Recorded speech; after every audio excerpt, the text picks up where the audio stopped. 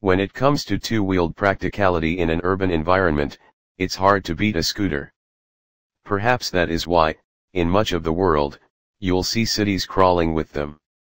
Scooters are easy to maneuver, easy to park, and most offer some cargo carrying capacity.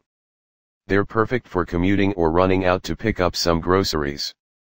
BMW has classified its three scooter models as urban mobility vehicles, with the C Evolution being the company's only electric entry in the category.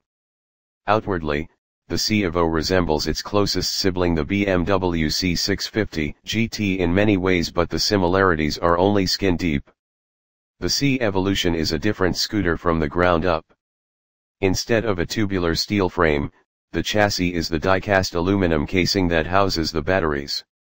Inside the casing are three battery modules, and each of these modules consists of 12 lithium-ion cells, the same ones used in BMW's i3 car. Although the C Evolution has been available overseas for several years, it is finally arriving stateside with batteries that were recently updated to 94 Ah from 60 Ah, delivering a claimed range of 99 miles per charge. As with all electric vehicles, the motor's full torque is immediately available with a twist of the throttle. In the case of the C Evo, that means a rider has instant access to a claimed 53 lb-ft of torque, which is capable of propelling the scooter from 0 to 30 miles per hour in 2.8 seconds. This is more than enough to pull away from all but the most aggressive traffic around town. Just for a quick comparison, the C650 GT produces a claimed 60 HP and 49 lb-ft of torque compared to the C Evolution's 48 HP and 53 lb-ft. Flipping the switch. One of the ways that the C Evolution tells you it isn't like other scooters is the reverse assist on the left handlebar. Hold it down and twist the throttle, carefully, to back out of your parking space. Get too heavy with the throttle, and you'll find yourself backing up faster than you can walk and possibly end up on the ground. Still, reverse assist is a nice feature that you'll use more often than you think. After all, the C Evo weighs in at a beefy 606 pounds.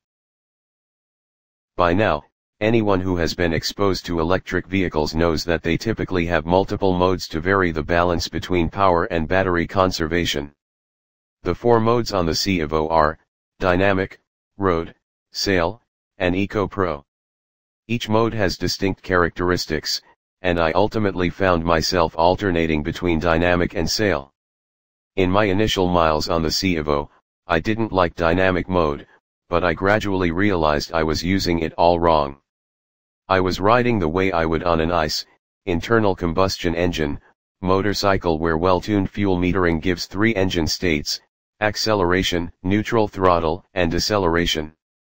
With this limiting mindset, I treated the throttle as basically an on-slash-off switch when moving from stoplight to stoplight in traffic. To my annoyance, rolling off out of neutral throttle initiated rather severe braking from the motor's electricity regeneration. This prompted me to switch over to sail mode, which lets the scooter freewheel when the throttle is rolled off. The trade-off being that no electricity is generated, leaving the battery to run entirely on its contents until the brakes were applied. This suited my city riding style of accelerating away from lights and coasting like I would a two-stroke until it was time to brake. Once I took a few extended rides on the highway and on winding roads, I began to appreciate dynamic mode. Where I'd been looking for consistent engine braking when the throttle was rolled off, I soon discovered I could tune the amount of deceleration by progressively rolling the throttle off. Essentially, I controlled braking that the regeneration applied with my throttle hand without touching the brakes themselves. If I needed to slow down slightly for a corner, I just dipped out of the neutral throttle zone. A tighter corner received a more aggressive rollout of the throttle. I had so much fun doing this that I ended up trying it on the interstate to similar results. Lesson learned. The C Evo's other two modes are Road and Eco Pro. Road is what the engineers must have thought of as the normal mode. The throttle response isn't as sprightly and the regeneration not as aggressive. In other words, I rarely used it since dynamic and sail covered the types of riding I like to do. EcoPro is designed to help the rider eke out as much mileage as possible from the battery's charge. Power off the line is drastically reduced, and top speed is limited to 65 miles per hour. Since EcoPro made pulling away from stops tedious, I only used it when the battery got low and I was concerned about making it to a charging station. The pause that refreshes. I don't know about the rest of the country, but around my slice of Southern California, level 2 charging stations are popping up like mushrooms. Within a mile radius of my house, the city installed two stations to the north and a mall has two level 2 stations, plus a DC fast charger, to my southwest. That's the good news. The bad news is that they are frequently occupied. So, despite the growth in EV infrastructure, it is nowhere near as ubiquitous as the corner gas station. Only once, when I really wanted to top off my charge, could I not find an available charging station. Still, it is frustrating to have to go to a couple locations to charge. For my thinking, it's not a big deal.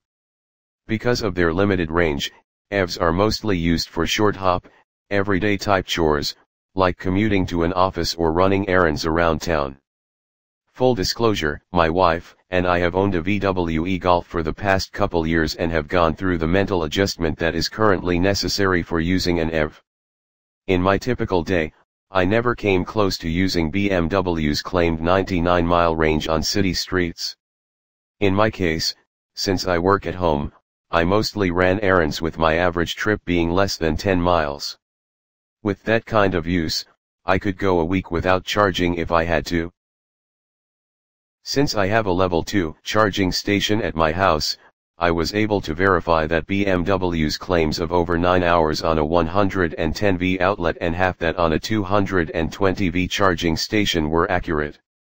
In either case, charging overnight makes the most sense if you have a fully drained battery.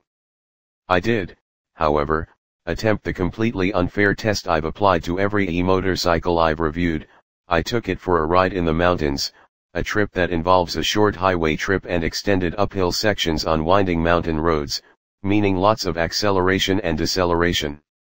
Since the trip down the mountain uses very little battery, I make the turnaround point when the battery reaches 40%. Although the C Evolution didn't make it to my goal in this torture test, it did make it farther than any other electric bike I tested up to that point. I was even able to make it back home on that 40% charge with a few percentage points to spare after a round trip of around 40 to 50 miles. Everywhere else, it's a maxi scooter. While the C Evo's chassis is constructed around a battery box, it carries its weight and handles like the BMW C650 GT we've tested in the past even with the all-new chassis. As noted before, the bike weighs in at a claimed 606 pounds, and that ain't light. Once underway, the C Evo hides its weight remarkably well. The only time that the weight becomes an issue is when the rider is pushing the C Evo or it tilts off center at a stop, a problem exacerbated by the 30.1 inch seat height and the scooter's width between the rider's legs. Out on the road, the 63.4 inches. Wheelbase helps to make the C Evolution stable at its 80 miles per hour top speed. Although the 15-inch wheels contribute to quick steering, the BMW exhibits none of the nervousness sometimes encountered on similarly equipped bikes. The snappy steering can be appreciated both when navigating through urban traffic as much as it can on a winding back road, even if that isn't typically where scooters are ridden. The 40mm inverted fork and the monoshock do a decent job of handling road irregularities. The ride is sporty but not overly taut, that is until you hit a sharp-edged bump. The suspension seems to lock up during these high-speed compression events. Otherwise, the ride is nice for a scooter. When it comes to braking, BMW scooters have always impressed us morons. A firm pull on both levers stops the C Evo courtesy of a pair of 270mm front discs squeezed by two piston calipers and a single version of the same in the rear. The ABS is not overly intrusive, interceding just as the tires approach lockup. In fact, you can hear the ABS do its job as the tires start to howl just before the system kicks in. One area where BMW scoots have always excelled has been in ground clearance. The C Evolution is no exception, and it offers tons of lean angle when you want it. During my mountain road jaunts, I never dragged the thing at a decidedly sporty pace. The biggest shortcomings of the BMW C Evolution are the same ones that plague all current e-motorcycles, price and range.